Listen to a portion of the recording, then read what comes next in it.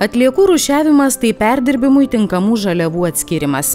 Šis procesas leidžia mažinti atliekų žalą aplinkai ir panaudoti atliekas žmonėms naudingiems tikslams. Vietoje to, kad būtų kaupiamos savartynuose, išrušiuotos atliekos yra perdirbamos ir naudojamos kaip žaliava naujiems gaminiams arba energijai gaminti. Įprasta atliekų rušiavimą sėti su antrinių žaliavų - stiklo, popieriaus, plastiko ir metalo atliekų rušiavimu į konteinerinėse aikštelėse esančius spalvotus konteinerius. Yra atskiri konteineriai popieriui, atskiri konteineriai plastikui, atskiri konteineriai stiklui. E, karts nuo karto e, gyventojams kyla klausimas, o visgi kur dėti E, skardinę, e, meta, aliuminio ar metalo skardinę, galų gale metalinį dangtelį. Tai būtent šitos kategorijos atliekas tikrai galima mesti į plastiko atliekas, ten, kadangi yra skirtingų svorių, skirtingo pobūdžio atliekos, jos tikrai yra išrušiuojamos ir, ir tikrai įmanoma sėkmingai atskirti. Tai tas dalykas, kolektyvinio rušiavimo konteineriai pas mus šią dieną yra pagrindinė surinkimo priemonė. E, toliau stambiagabaričių atliekų aikštelėse yra didesnė, dar daugiau e, kategorijų, e, dar daugiau vietų, kur mes galime atskirai atiduoti atliekas, tiek statybinės atliekų, nedidelius statybinių atliekų kiekius. Galų gale nedidelį kiekį asbesto turinčio šiferio mes irgi galime atskirai atvežę atiduoti stambiagabaričių atliekų aikštelėje.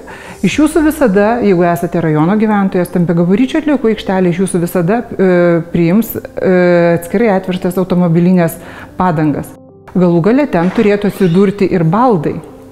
Netinkami naudoti, sulūžę, tai yra tie daiktai, kuriuos jūs galvojate atsikratyti, bet tikrai, tikrai noriu pasakyti, kad jų nereikia ir negalima palikti prie konteinerių aikštelių.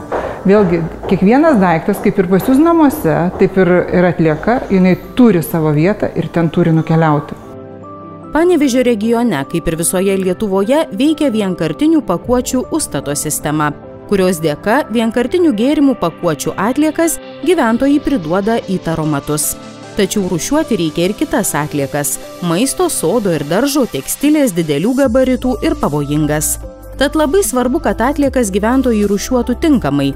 Tokiu būdu jas tvarkyti yra pigiau ir efektyviau, nes mažinamas atliekų pakartotinio rušiavimo poreikis perdirbimui tinkamos žaliavos nėra užteršiamos ar sugadinamos. Svarbu atkreipti dėmesį į tai, kad į spalvotus rušiavimo konteinerius negalima mesti pakuočių ar kitų talpų su maisto ir gėrimų likučiais. Maisto atliekas dažniausiai gyventojai meta į bendruosius komunalinių atliekų konteinerius. Tačiau šias atliekas taip pat galima rušiuoti ir perdirbti. Perdirbant maisto atliekas ir taikant įvairius apdorojimo būdus, gali būti gaunamos trašos, biodujos, šiluma, energija.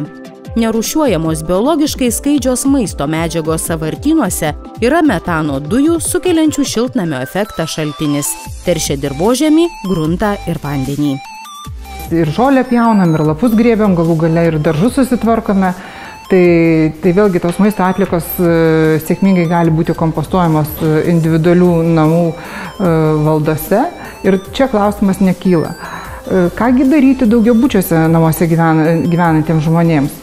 Tai va, toks patarimas ir būtų tam, kad neužterštume likusių mišrių komunalinių atliekų ir jų padarytume visiškai, nepadarytume visiškai netinkamų perdirbimų, tolesniam apdorojimui, tai maisto atlikas turime irgi rinkti atskirai. Įgyvendinant projektą Panevežio regiono komunalinių atliekų tvarkymo infrastruktūros plėtra, yra dėgiama naujovė - atskira maisto atliekų surinkimui skirti konteineriai. Panevežio regione tokių konteinerių bus pastatyti 56. Jie stovės naujai įrengtose ar rekonstruotose konteinerinėse aikštelėse. Atskirai rušiuoti reikėtų ir tekstilės atliekas, tai yra drabužiai, batai, patalinė, minkšti žaislai be elektroninių dalių, užuolaidos ir kiti tekstilės gaminiai. Nors nelaikomos pavojingomis, tekstilės atliekos ilgai nesuyra, todėl jas reikia perdirbti. Atskirai surinktos tekstilės atliekos, e, jos yra pakankamai gera žaliava e, deginimui, tai vėlgi šilumos gamybai, tai yra dar kartą panaudojama. Galų gale e, tie patys drabužiai gali būti sėkmingai panaudoti pramoninių šluoščių e, gamybai, juk e, yra ir, ir tepaluotų, ir, ir, ir pavojingomis atliekomis užterštų paviršių, kuriuos niekaip kitaip nepavalysime. Tai to, to būdu pasitarnautume tam, kad nereiktų naujų gaminti naujų medžiagų, nereiktų naudoti naujų išteklių, o tą patį daiktą panaudoti antrą kartą. Gyventojai tekstilės atliekas turėtų mesti į konteinerinėse aikštelėse esančius tekstilės atliekų konteinerius. Panevežio regione iki 2019 metų pabaigos bus pastatyti 154 nauji tekstilės atliekų surinkimui skirti konteineriai. Tekstilės atliekas gyventojai gali pristatyti ir į didelių gabaritų atliekų surinkimo aikšteles. Į didelių gabaritų aikšteles priimamos ir pavojingos atliekos bei elektronikos atliekos. O ar jūsų nuomonė pakanka vietų atliekų surinkimui? Atsakymą į šį klausimą atsiųskite mums elektroniniu paštu žiniuoseta gantv.lt. Ir burtų keliu atrinksime du nugalėtojus, kurių laukia specialūs Panevežio regiono atliekų tvarkymo centro įsteigti prizai. Projektas Panevežio regiono komunalinių atliekų tvarkymo infrastruktūros plėtra iš dalies finansuojamas ES ir Panevežio regiono atliekų tvarkymo centro lėšomis.